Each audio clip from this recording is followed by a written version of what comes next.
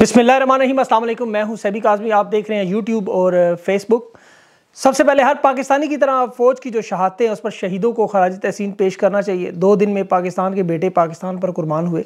हालात कैसे भी हो देखें याद रखें, इस वक्त जो अडयाला जेल में बैठे हुए इमरान खान वो भी मजम्मत भी कर रहे हैं, दुखी भी हैं, और मैं आपको बड़े यकीन से बता रहा हूँ, उनकी तरफ़ से बयान भी आ जाएगा। आपने किसी में से भी, कितनी मर्ज़ी आपकी नाराज़गी हो, दुश्मन के प्रोपागेंडे में आप मत आएँ।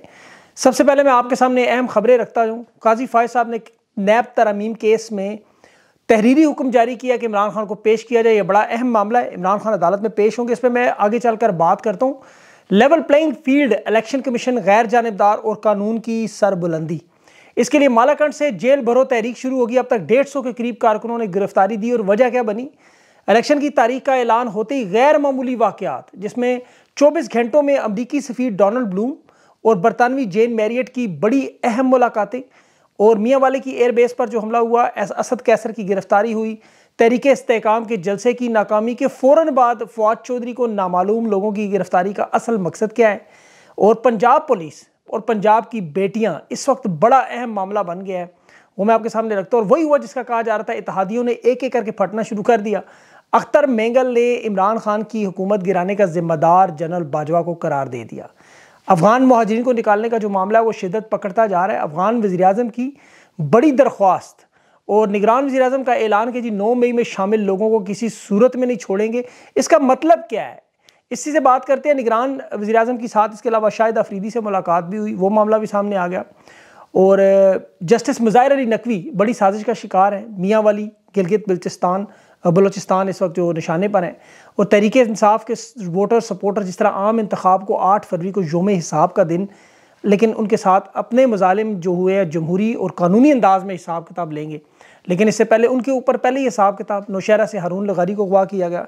वजीरस्तान से एम एन ए सलीमरहमान को गिरफ़्तार किया गया और इसके अलावा जो फैसलाबाद में हो रहा है, असद कैसर को अगवा किया गया। ये सारे मामला क्या हैं? इलेक्शन की तारीख आते ही गिरफ्तारियाँ और मुल्क में जो अचानक दहशत गर्दी में इजाफा हुआ, देखिए, वजह बड़ी साफ़ और सीधी है। इन्हें पता है तहरीक इंसाफ ने जलसे करने हैं, रैलियाँ करनी हैं और इनकी जो दो साल की मेहनत है, वो सारी एक जलसे में ज़ाया हो जाएगी। तो ये जान चाहते हैं कि तहरीक इंसाफ अपनी ताकत ना दिखा सके, उसे दीवार के साथ लगा रहने दें। और उसकी बड़ी वजह यह है कि इलेक्शन में अब तमाम जलसों और जलूसों पर ये लोग पाबंदी लगा सकते हैं कि जी, मुल्क में इस वक्त सिक्योरिटी के हालात साजगार नहीं। पाकिस्तान की अगर आप छिहत्तर साल की तारीख देखें तो इलेक्शन के दौरान या इससे पहले हमेशा हालात ऐसे बनते हैं। याद रखें, अमेरिका ने दो दफ़ा पाकिस्तान को अपनी जंग में बंदूक बनाकर तैयार किया है और लड़ाया है। नतीजे में एक लाख लोग, आपको पता है, कुर्बानियाँ, जितने लोग किसी जंगों में शहीद हुए और पाकिस्तान की मीशत अमन अमान तबाह हुआ। अब इस चीज़ को समझने वाला शख्स इमरान खान, जिसे ये पूरी वारदात इनकी समझ आ गई थी और उसने इन्हें समझाने की पूरी कोशिश की।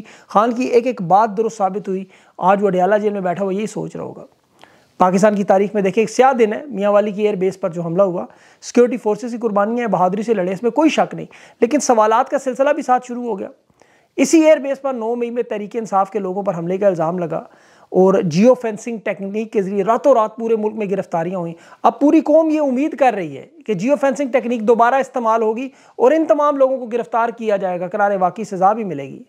देखा जाए तो जिस तरह देखें, नौ मई को रोज़ पेश किया जाता है। अब चार नवंबर को भी इसी तरह हर साल मनाना चाहिए और इसकी मजम्मत भी हर साल करनी चाहिए और इन लोगों को कंडेम भी करना चाहिए। हकीकत में देखा जाए तो एयर बेस पर या किसी और हरमत वाली जगह पर हमला करने वाले ये लोग सियासी जमातों के लोग नहीं होते, ये असल में दहशत गर्द नज़र आते हैं। सियासी लोगों में और इन लोगों में फ़र्क जो है वो वाजे करें। इन लोगों को गिरफ़्तार करें और साथ उनको भी जिनकी गफलत और नायली की वजह से सीढ़ी लगाकर वो आराम से इतनी अहम तनसीबात पर जा रहे हैं। अभी छः महीने हुए हम लोग मजम्मत कर करके थक गए, लेकिन सिक्योरिटी में क्या इजाफा हुआ? इस नाकामी का जिम्मेदार कौन है? इसकी वजह क्या सिक्योरिटी इदारों का सारा ध्यान इस वक्त तरीके इंसाफ की तरफ़ लगा हुआ है और वो अपने असल काम की तरफ़ तोज्जो नहीं दे रहे कि पाँच छः मुसल्ह लोग सुबह सवेरे उठ के इतनी अहम तनसीब पर जाकर हमला कर दें? और हमारे अजीम जवान इस तरह की शहादतें देते हैं। दिल हमारा भी सब लोगों का इसका, पूरी कौम का दुखा हुआ है। जिस बहादरी दिलेरी से पाक फौज, आपको पता है, दुश्मन के मकासद, मजनूम, मजमूम मकासद नाकाम तो कर रही है। लेकिन इसके साथ साथ जिन लोगों की नाअहली और कोताही है, उनसे ज़रूर सवाल होना चाहिए। कल गवादर में चौदह जवान आपके सामने, और फिर अभी अफगान वजी दिफा ने कहा था कि पाकिस्तान वही काटे का जो बोर है। तो मुझे डर है, इसके इल्ज़ाम की तरीके इंसाफ पना लग जाए। और असल मुजरमान को फिर बचा लिया जाए। अफगान बॉर्डर देखें, ग्वादर से 1200 किलोमीटर दूर है, उसके इर्द गिर्द मशरक, मगरब, जमाल, जनूब, कहीं कोई बड़ा शहर मौजूद नहीं। पाक फौज फौज की शोदा को सलाम, लेकिन इसके पीछे जो अनासर है, वो कब आएँगे? इदारे अपना काम कब करेंगे? इल्ज़ाम अगर अफान महाजरीन पर लगाना है कि उनको निकालने से दहशत गर्दी ख़त्म होगी, लेकिन हकीकत में उसमें तो इजाफा हो रहा है। अब ये सादा सा सवाल अफ़गानिस्तान की सरहद देखें, चीन, ताजिकस्तान तुर्कमनिस्तान अफ़गानिस्तान और ईरान से मिलती है, पाकिस्तान से मिलती है। ईरान में दस लाख के करीब अफ़गान महाजरीन हैं, लेकिन इन चारों मुल्कों में कोई ऐसा वाक़ नज़र नहीं आता, जबकि पाकिस्तान में और पाक फौज के जवान और पाक पाकिस्तान की अवामी जल रहे हैं। इन्हीं पॉलिसियों के नतीजा है, जिसमें आप देखें, लंदन वालों को ये उठा के लाए, वो तो इस आग में कभी नहीं जलेंगे, वो तो अपनी पहली फ़्लाइट से लंदन भाग जाएँगे, फिर यही अवाम जलेगी। वो क्यों मजीद हम लोग का इंतज़ार करें? अब यहाँ पर देखें, निगरान वजी अजम को इस मामले पर बात करना चाहिए। लेकिन क्या कह रहे हैं? कि जी, नौ मई में जो शामिल लोग हैं, प्रेस कॉन्फ्रेंस करने के बाद भी अब उन्हें छोड़ेंगे नहीं। उसकी वजह मैं आपको बताता हूँ। पहली मिसाल इन्होंने फवाद चौधरी को हटाने की कोशिश की। फवाद चौधरी ने पार्टी छोड़ने के बाद अब तक इमरान खान के खिलाफ कोई बात नहीं की। कोई प्रेस कॉन्फ्रेंस नहीं की, कोई इंटरव्यू नहीं दिया। गाय वो छोटी मोटी ट्वीट इनके हक में भी करता रहा।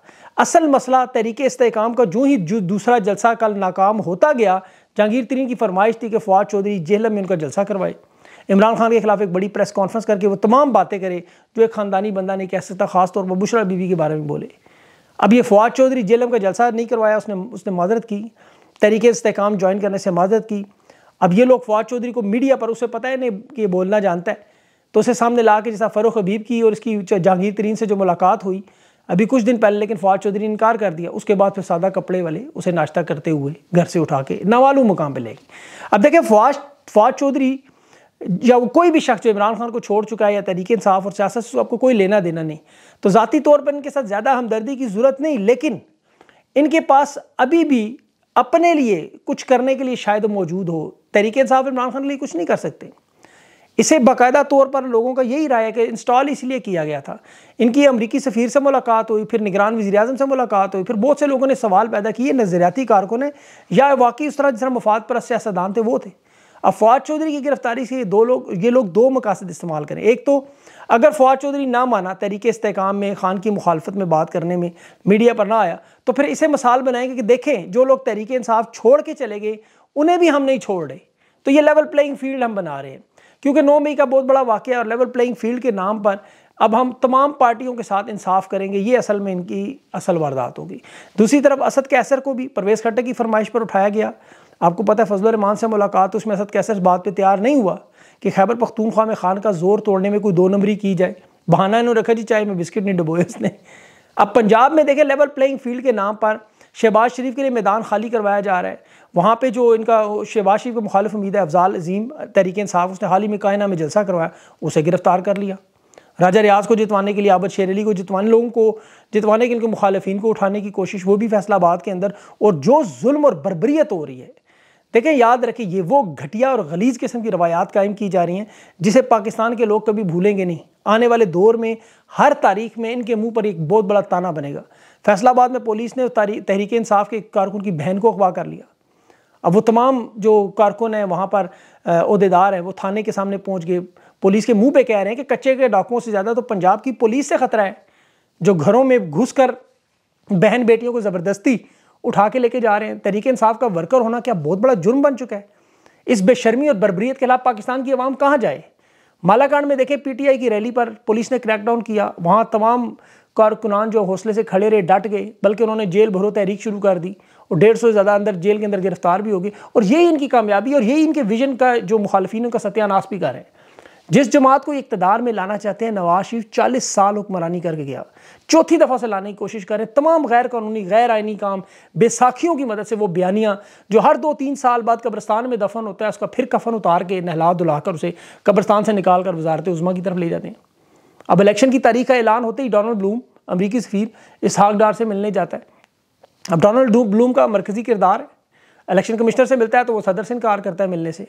अभी डार के साथ मुलाकात में फिर अमरीकी सफ़ीर के बाद बरतानवी सफ़ीर, जेन मैरियट इसहाक डार से मिलने फ़ौरन पहुँचे चौबीस घंटों के अंदर। इन किरदारों को याद रखें कि जेन मैरियट को कीनिया में इंतबात में दखल अंदाजी करने की वजह से मुल्क से निकाला गया। और ये दोनों तमाम अहम ममालिक में काम कर चुके, जहाँ पर रजीम चेंज ऑपरेशन हुए। नवाज़ शरीफ और इसहाक डार इन्हीं लोगों की मदद से इंटरनेशनल इस्टेब्लिशमेंट की मदद से आज पाकिस्तान में पहुँचे हुए हैं। साथ इनके मैं आगे चल के एक और बात भी बताता हूँ। अब तो आवाम को पता चल, ये तमाम वो बातें हैं, देखिए, जो कुछ हो रहा है, जिस तरह आपके सामने हो रहा है, ये ये तो बाज़ाहिर नज़र आ रहा है, लेकिन जो इनके साथ जेर ज़मीन, अंडरवर्ल्ड के लोग शामिल हैं, जिन्हें डीप सीक्रेट्स के नाम से जाना जाता है, यहाँ पर वो लोग भी इनकी मदद कर रहे हैं। क्योंकि ये इनके बहुत सारे लोग पेरोल पे इस पर काम करते हैं। दुनिया में बहुत से ममालिक हैं, सियासतदान हैं और एक दूसरे के, आपको पता है बाहर दुश्मन नज़र आते हैं रिटायर्ड है, हाजिर ड्यूटी हैं। ये सब लोग दोस्त भी हैं। जेर ज़मीन दुनिया में दोस्त है, बाज़ाहिर नामुमकिन नज़र आने वाले काम ये मुमकिन करते हैं। जब चाहे जंग करवाएँ, जब चाहे अमन करवाएँ, चाहे तो लंदन का माहा बनवाएँ, चाहे तो किसी पर हमला करवाएँ, फ़िरका वाराना फसादात करवाने हों इलेक्शन करवाने हों इलेक्शन रुकवाने हों, हर किस्म का मामला तय करने के लिए इनके पास बंदे मौजूद हैं, पैसे सिर्फ़ बिटकॉइन में दे जा रहे हैं और इनके ताल्लुक दुनिया में कायम हैं।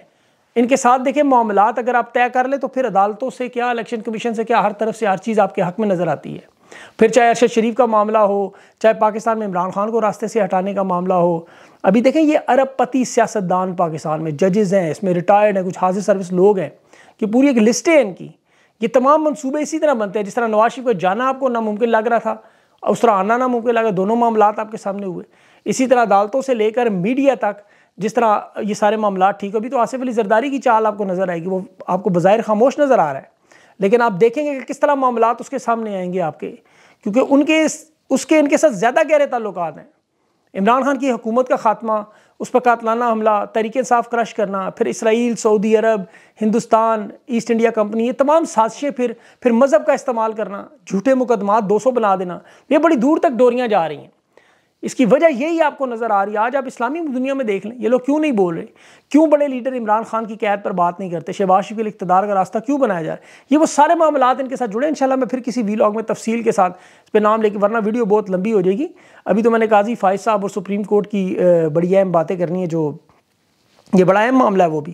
क्योंकि वो भी इनका साथ दे रहे हैं। काजी फायज साहब देखें, इमरान खान और आरिफ अलवी, इन दोनों के सख्त मुखालिफ है। इन्होंने इसके खिलाफ रेफरेंस भिजवाया था, भिजवाया और बाजवा साहब ने था। मनी ट्रेल का मामला सारा। और जिस तरह आपको याद होगा, तारीख में जुल्फकार अली भुट्टो का आप ट्रायल देखें तो मौलवी मुश्ताक जो जज था, जिसके जनाजे पर मक्खियों ने हमला किया, शहद की मक्खियों ने बेयारों मददगार, उसकी मैत छोड़कर भागे लोग, वो भी दुनिया में इबरत की मिसाल बना। उसकी जुल्फकार अली भुट्टो से एक लड़ाई थी। काबीना में वो सेक्रेटरी कानून था, पंजाब हाई कोर्ट का चीफ जस्टिस बनना चाहता था।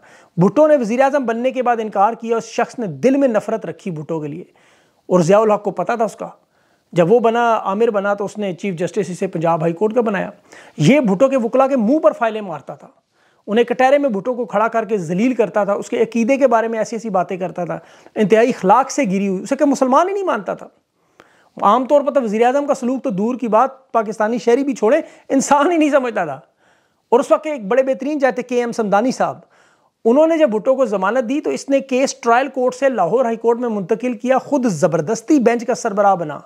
और फिर इसने अदालतों का वो सत्यानाश, इंसाफ और कानून की धजियाँ बखेरते हुए सेशन कोर्ट की बजाय डायरेक्ट हाई कोर्ट में ट्रायल चलाया।